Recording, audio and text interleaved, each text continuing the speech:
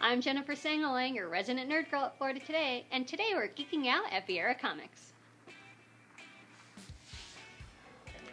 So I've always wanted to open up a, a comic shop and toy store, and uh, I, I feel like I'm trying to find the right balance between um, uh, the stuff you'd find at any comic shop and then some really cool, different stuff that you can't find anywhere else.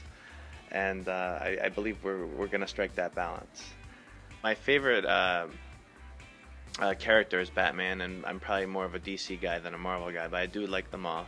And what I really geek out about are uh, the cool sculptures and collectibles that a lot of artists are making.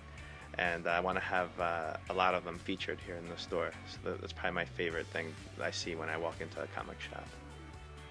I asked Peter to tell me why he thinks it's cool to be a nerd. Well, um, I think it's always been cool but I think it's especially cool because it's it's in our pop culture now, and all these comic book movies are definitely helping out a lot. And uh, I think people are really finding that it's a great outlet and escape from uh, reality, and reality is not always great. So it's it's fun to read a comic book and uh, get lost for a little bit.